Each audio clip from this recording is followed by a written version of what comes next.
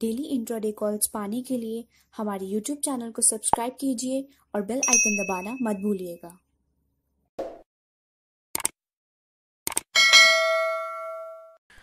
Good evening guys welcome back to our channel Finvest तो उम्मीद है आप सभी का आज काफ़ी अच्छा प्रॉफिट रहा होगा। आज के वीडियो जो कि कल की वीडियो में मैंने आपको जो भी लेवल्स दिए थे टेलीग्राम चैनल पे जो लेवल्स दिए थे और हमारे जो सब्सक्रिप्शन जिन्होंने हमारा बाय किया उनके लिए जो लेवल्स थे, उनमें कैसा प्रॉफिट हुआ, वो सब मैं आज इस वीडियो में क्लियर कर दूँगा। काफ़ी जल्दी मैं आपको एक रिव्यू दूँगा। चलिए शुरू करेंगे हम यूट्यूब की कॉल से, फिर उसके बाद टेलीग्राम की कॉल, उसके बाद मैं आपको पेड सब्सक्राइबर्स की कॉल्स का रिव्यू दिखा दूँगा कि क्या क्या था। बहुत जल्दी मैं करूँगा, आप मानिए, आपको ज़्यादा टाइम नहीं लगेगा और मैं आपको thirty July two thousand twenty के लिए लेवल्स भी दे दूँगा। टेलीग्राम चैनल में मैं मॉर्निंग में लेवल्स प्रोवाइड करता हूँ हर बार तो आप डिस्क्रिप्शन में आपको लिंक मिल जाएगा टेलीग्राम चैनल का, आप ज्वाइन हो जाइए। और अगर आपने अभी तक इस चैनल को सब्सक्राइब नहीं किया तो प्लीज़ हमारे चैनल को सब्सक्राइब कीजिए बेलाइकन को दबाना मत भूलिएगा और कमेंट सेक्शन में कमेंट करके हमें ज़रूर बताएगा वीडियो कैसी लगी और अपनी जो भी क्वेरी है कमेंट सेक्शन में पूछ सकते हैं। ज़्यादा ज़्यादा आपको जानना है डिटेल में तो आपको डिस्क्रिप्शन में हमारा नंबर भी मिल जाएगा। तो चलिए वीडियो शुरू करते हैं। तो मैं बात कर रहा था यूट्यूब के कॉल की। तो यूट्यूब की कॉल की मैं बात करूँ तो देखिए, मैंने आपको कल भारतीय एयरटेल दिया था 566 पे बाय करने के लिए और 562 पे शॉर्ट सेल करने के लिए। 567 का मैंने बाय साइड का टारगेट बोला था 561 का पहला टारगेट प्राइस 561 बोला था। अब काफ़ी लोगों को ऐसा लगा होगा कल की जब इन्होंने वीडियो देखी होगी, आप लोगों ने वीडियो देखी होगी कि ये टारगेट तो बहुत छोटा है, ये स्टॉक प्राइस बड़ा है। तो मैं आपको चार्ट पे दिखा दूँ, इसने एग्जैक्टली वही मूवमेंट दिया है। देखिए बाई साइड का देखिए टारगेट सबसे पहले तो बाई साइड का जो टारगेट था, यहाँ पे हमारी बाइंग प्राइस हुई थी। फ़र्स्ट टारगेट प्राइस यहाँ पे अचीव हुआ था सेकंड टारगेट प्राइस हमारा आके यहाँ पे अचीव हो गया था। शॉर्ट सेलिंग की बात करूँ शॉर्ट सेल देखिए, मैंने इसी लेवल से आपको आइडिया देता है, अगर कोई भी वन साइडेड ना हो, दोनों बोथ साइडेड आपको प्रॉफिट ईजिली हो जाए। तो देखिए बाई साइड का प्रॉफिट कमा के जब इसको स्टॉक नीचे आने लगा, तब आप यहाँ पे हमारी शॉर्ट सेलिंग की लेवल एक्टिवेट हुआ। शॉर्ट सेलिंग का जब लेवल ब्रेक हुआ तो यहाँ फ़र्स्ट टारगेट हमारा इजीली अचीव हो गया। तो इसलिए मैं बोलता हूँ फ़र्स्ट टारगेट पे बाहर आना आपके लिए ज़्यादा बेटर है, वरना स्टॉप लॉस प्लेस करना भी बहुत अच्छा अगर ये स्टॉक और नीचे जाता तो आप फ़र्स्ट टारगेट प्राइस पर स्टॉप लॉस प्लेस कर देते। सीमेंस की मैं बात करूँ सीमेंस में आज हमारा बाई साइड का पहले टारगेट जो टारगेट प्राइस था, उससे थोड़ा सा रह के वो स्टॉप लॉस हिट हो गया। मतलब टारगेट प्राइस नहीं अचीव हो पाया। बाई साइड का।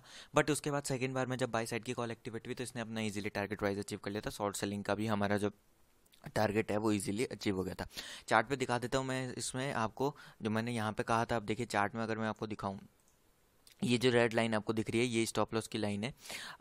यहाँ पे हमारा स्टॉप लॉस पहली बार बाई लाइन बाई साइड का, यहाँ से ये स्टॉक यहाँ पे ओपन हुआ, ऊपर गया।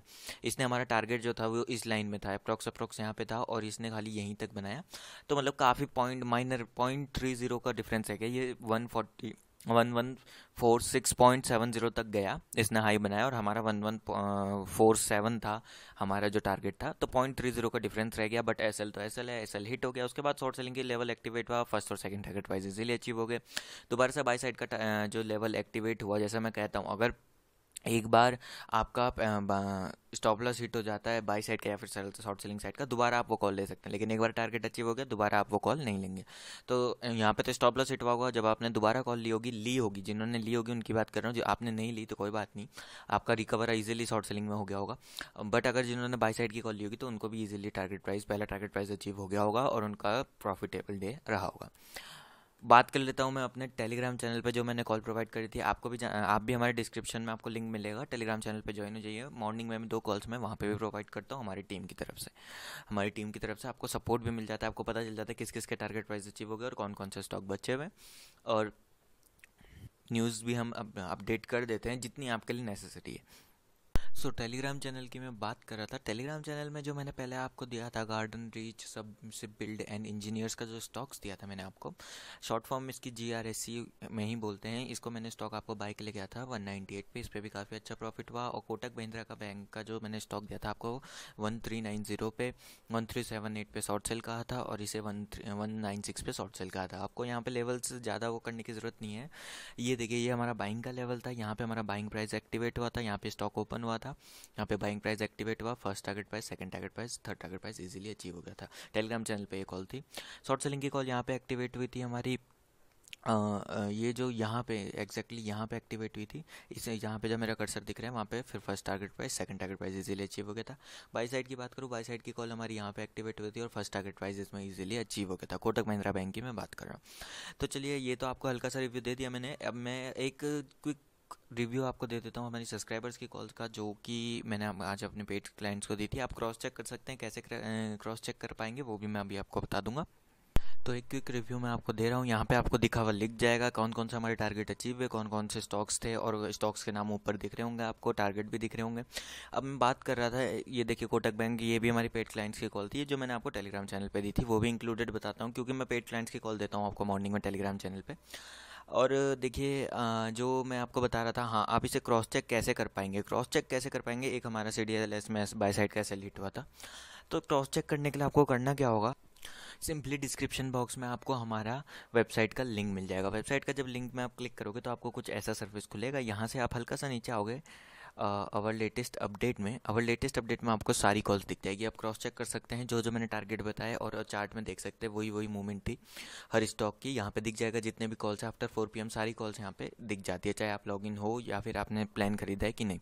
और अगर आप हमारा प्लान खरीदना चाहते हैं सब्सक्रिप्शन लेना चाहते हैं तो यहाँ पे नीचे आपको दोनों सब्सक्रिप्शन 499 और 799 वाला सब्सक्रिप्शन अवेलेबल है। आप जो चाहे कर सकते हैं। सब्सक्राइब नाउ पे क्लिक करेंगे पेमेंट का ऑप्शन आपके लिए खुल जाएगा। एक और चीज़ मैं क्लियर कर दूँ।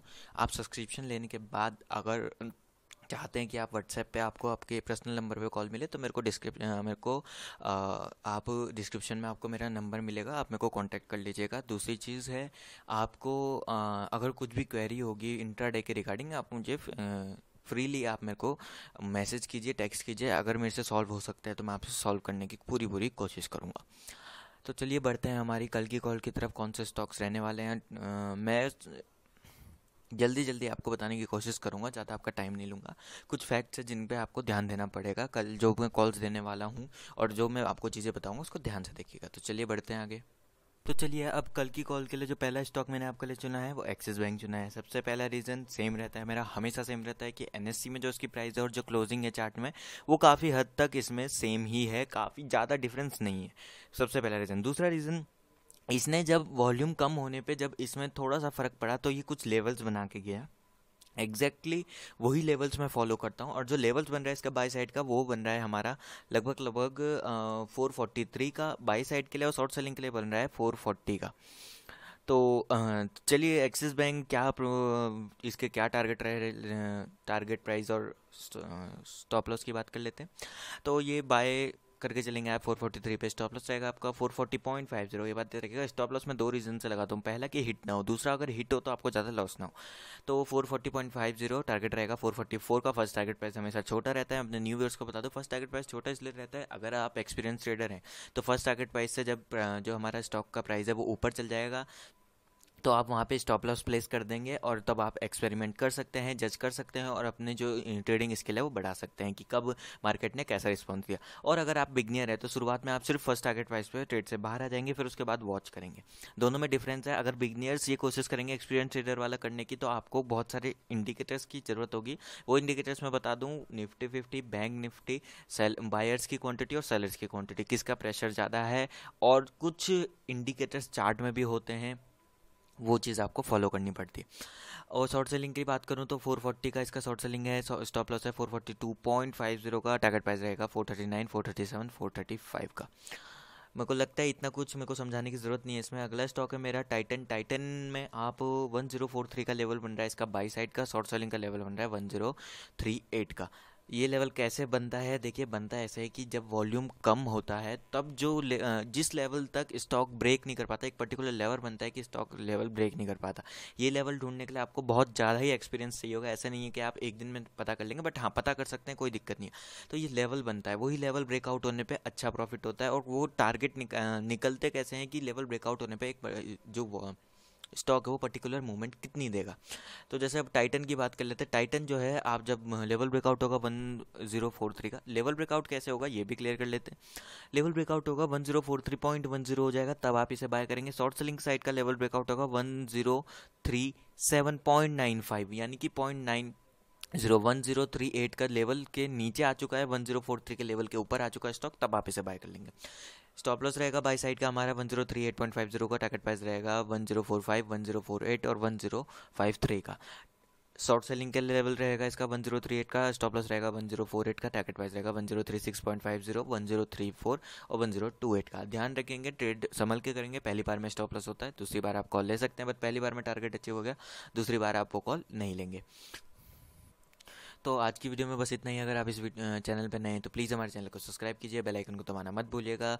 जितना हो सके इस वीडियो को लाइक एंड शेयर कीजिए। कमेंट सेक्शन में कमेंट करके ज़रूर बताएगा आपको वीडियो कैसी लगी। तब तक के लिए धन्यवाद, मिलते हैं अगली वीडियो के साथ।